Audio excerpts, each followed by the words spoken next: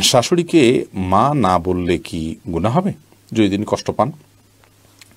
শাশুড়িকে মা বললে তো গুণা হবে না। কারণ এটা তো আপনি জন্মদাতা, জন্ম গর্ভধারণকারী মা হিসাবে তাকে আপনি মা সম্বোধন করছেন। এটা সম্মানসূচকভাবে মা হিসাবে আপনি তাকে আখ্যায়িত করছেন। কারণ আপনি আপনার মায়ের নাম যেখানে সেখানে লিখতে হয়, সেখানে শাশুড়ির নাম কোথাও লেখেন না। তার মানে আপনি তাকে আপনার গর্ভধারণকারী মা হিসাবে স্বীকৃতি দিচ্ছেন না। বিধায় তাকে মা বলাতে কোনো অসুবিধা নেই। আর যদি মা বললে তিনি কষ্ট পান, তাহলে সেক্ষেত্রে এরকম তো হওয়ার কথা নয়। যদি এরকম হয়, তাহলে সেক্ষেত্রে আপনি বলবেন না। আপনি লিখেছেন প্রশ্নের শাশুড়িকে, মা, না বললে কি গুণা হবে? না বললে তো কোনো গুণা হবে না। আপনি প্রশ্ন করতে পারার কথা, প্রশ্ন করার কথা যে মা বললে কি গুণা হবে কিনা, না বললে তো গুণার কিছু না। আপনি শাশুড়িকে, আন্টি বলেন বা অন্য কিছু বলেন, তাতে কোনো অসুবিধা নেই।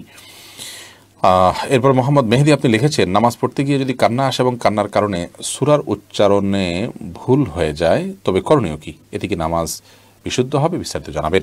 বা মেহেদি, নামাজের মধ্যে আল্লাহর ভয়ে কান্না আসাটা খুবই ভালো জিনিস।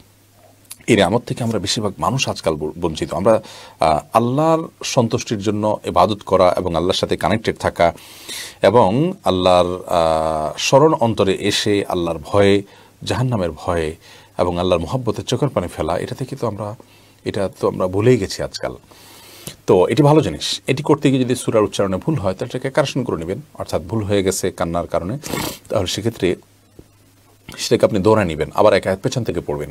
আর যদি আপনি পরবর্তীতে বুঝতে পারেন যে ভুল হয়ে গিয়েছিল, নামাজের পরে বুঝলেন, কিন্তু আপনি নামাজ যথেষ্ট হওয়ার মতো তেলাওয়াত করেছেন, ধরুন সুরা ফাতে আপনি পড়েছেন, তার সাথে আরও দু চারটি আয়াত তেলাওয়াত করেছেন, এরপর ভুল হয়েছে, তাহলে সেক্ষেত্রে আপনার নামাজ হয়ে গেছে, কোনো অসুবিধা নেই, ইনশাআল্লাহ বিদিনিল্লাহ এরপর নুসরাত মাহি আপনি লিখেছেন, আমি আমার মৃত পিতার নামে, যাই সদকা করি, তার সব কি আমিও পাবো?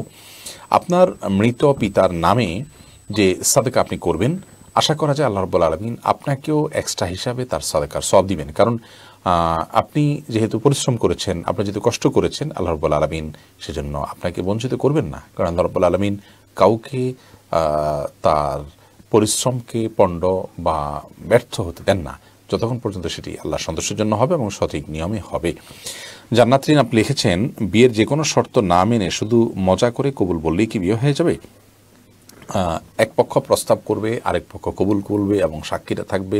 বিবাহ শুদ্ধ হওয়ার বিশুদ্ধ হওয়ার জন্য যা দরকার সেটা যদি থাকে, এরপরে যদি দুষ্টমি করেও কেউ প্রস্তাব করে আর কবুল করে এবং সাক্ষী থাকে তাহলে সেক্ষেত্রে বিবাহ কিন্তু ঠিকই সম্পন্ন হবে। সালাফুন জিদ্দুহন্না জিদ্দুন ও হাজলুহন্না জিদ্দুন। হাদিসে আসছে যে তিনটি বিষয়, মানুষ সিরিয়াসলি করলে যা হবে এবং দুষ্টমি করে করলেও তা হবে। বিধায় বিয়ের ক্ষেত্রে এই বিষয়টি আমাদের মাথায় রাখতে হবে যে এটি আমরা যদি ইচ্ছাকৃতভাবে জেনে শুনে, ইচ্ছাকৃত বলতে সজ্ঞানে যদি বিবাহের প্রস্তাব দেই এবং অপরপক্ষ কবুল করেন এবং সেটার বিবাহের অন্যান্য শর্তাদি থাকে সাক্ষী উপস্থিত থাকে, তাহলে সেক্ষেত্রে সেটি কিন্তু বিবাহ হিসাবে গণ্য হবে। এরপরে তুরান ইকবাল খান আপনি লিখেছেন আমি জীবনে পর্বতের চেয়েও বিশাল পরিমাণ গুনাহ করেছি। আল্লাহ পাককে আমায় ক্ষমা করবেন? দেখুন, আল্লাহ রব্বুল আলমিন ক্ষমা করবেন না এমন কোনো গুনাহ নাই। আর মানুষ গুনাহ করতে করতে করতে ক্ষমা করা যাবে না। আল্লাহ তালা ক্ষমা করতে পারেন না। এই পর্যায়ে যাওয়ার কোনো সুযোগও নেই। আল্লাহ তালা বলেছেন যে লাতাকনা তুমি রহমতুল্লাহ। তোমরা আল্লাহ রহমত থেকে নিরাশ হয়েও না। ইন্দাল্লাহ ইয়াকফুরুদ্দিন জামি নিশ্চয় আল্লাহ রব্বুল আলমীর সমস্ত অপরাধগুলো মাফ করে দিবেন, সমস্ত গুনাহগুলো মাফ করে দিবেন। বিধায় বান্দার যত গুনাহ আছে, যত পাপ আছে, যত অপরাধ আছে, তার সবগুলাই ক্ষমার যোগ্য অপরাধ, সবগুলোই আল্লাহ রব্বুল আলমিন মাফ করবেন ইনশা আল্লাহ হবে ইদিনিল্লাহ এমনকি আপনি শির করেছেন, সে অপরাধ আল্লাহর কাছে আপনি মাপের আশা করতে পারেন। তবে হ্যাঁ আপনি মানুষের অধিকার নষ্ট করে থাকলে সেটি মানুষের সাথে আপনাকে মেটাতে হবে। মানুষের কাছে মাপ চেয়ে নিতে হবে। এর পাশাপাশি আল্লাহ তালার কাছেও আপনি তবা করবেন এবং ইস্তেফার করুন, ক্ষমা প্রার্থনা করবেন। আপনার গুনাহ তো সমুদ্রের ফেনা পরিমাণ নিশ্চয়ই নয়। সমুদ্রে ফেনা পরিমাণ গুণা হলে সেটিও মাফ করার কথা নবী করিম সাল্লাহ আসলাম হাদিস জানিয়েছেন। বিধায় নিরাশ হওয়ার কোনো কারণে শয়তান আমাদেরকে নিরাশ করে ফেলানোর সময়। মাই হামাদ আপনি লিখেছেন, গর্ভকালীন কোন আমল করলে নর্মাল ডেলিভারি হবে? গর্ভকালীন সময় এরকম কোনো বিশেষ আমলের কথা কোনো বলা হয়নি যে আমল করলে নর্মাল ডেলিভারি হবে। তবে হ্যাঁ গর্ভ যাতে নর্মালভাবে হয়, অপারেশন করতে না হয়, সেজন্য আল্লাহর রহমানের কাছে আপনি সাধারণভাবে দোয়া করতে পারেন। আর দান এবং সাদাকা, এটা মানুষকে কঠিন কোনো পরিস্থিতি থেকে উত্তরের পথ দেখায়। বিধায় এরকম পরিস্থিতিতে আপনি কিছু দান সাদাকা করতে পারেন এবং বিশেষভাবে ইস্তেকফার দুরুদ সহ যে আমলগুলো বান্দার খুব কঠিন সিচুয়েশনে পড়লে আল্লাহ তালা তার জন্য বিষয়টিকে সহজ করেন, সে আমলগুলো আপনি বেশি বেশি করে করবেন। আল্লাহ তালার কাছে সাধারণভাবে দোয়া করতে থাকবেন। এছাড়া সুনির্দিষ্ট কোনো দোয়া বা আমল কোন হাদিস আমাদেরকে শেখায়নি, যেটার মাধ্যমে নর্মাল ডেলিভারি হবে। আইন নিয়ে কিছু কথা এই আইডি থেকে আপনি লিখেছেন মা বাবার একমাত্র সন্তান মেয়ে। আবার বাবা মা একটা পালক ছেলে নিলেন। এখন সম্পদ কীভাবে ভাগ করব? দেখুন বাবা মার যখন একমাত্র সন্তান মেয়ে হবে, আর বাবা মা কোনো ছেলেকে পালক পুত্র হিসেবে আনবে, তাহলে সেই পালক পুত্র কিন্তু বাবা মার সম্পদের কোনো ভাগ পাবেন না। কারণ পালক পুত্র তিনি যেহেতু মূলত পুত্র নন, এবং ওই যারা তারাকে লালন পালন করেছেন, তারা তার বাবা মা নন তাহলে সেক্ষেত্রে তাদের সম্পদে এই সন্তান ভাগ পাবে না।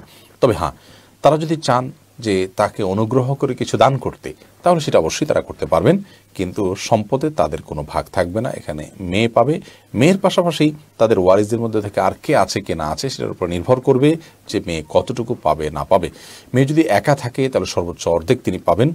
আর যদি একাধিক থাকেন, তাহলে সেক্ষেত্রে তিন ভাগের দুই ভাগ পর্যন্ত তারা মেয়েরা পাবেন, আর বাকি এক ভাগ সেটা অন্যদের মধ্যে বন্টন করা হবে। অন্য বলতে অন্য বলতে যার সম্পদ বন্টন করা হচ্ছে, তার মা বাবা আছে কিনা, তার ভাই বোন আছে কিনা, এগুলোর উপর নির্ভর করবে যে এই সম্পদ আর কে কে পাচ্ছে। তার স্বামী স্ত্রী থাকলে স্ত্রী পুরুষ হলে তার স্ত্রী আছে কিনা, মহিলা হলে তার স্বামী আছে কিনা, এটার উপর নির্ভর করবে যে তারা কে কতটা পাচ্ছেন। কিন্তু মেয়ে যদি একা হয়, তাহলে সর্বোচ্চ অর্ধেক পাবেন বাবার সম্পদ থেকে।